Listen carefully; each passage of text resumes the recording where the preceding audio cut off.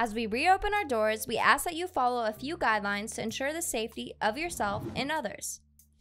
We ask that at all times, keep a distance of at least six feet from one another. If you feel sick or show any symptoms of COVID 19, please stay home and visit us when you are well.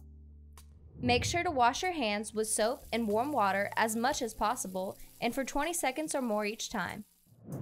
If you sneeze or cough, please be sure to use your elbow or a tissue. And be sure to avoid touching your eyes, nose, and or mouth. We will be sure to do our part by cleaning high traffic areas often. Thank you for following our guidelines. We hope you enjoy your visit and look forward to seeing you again soon.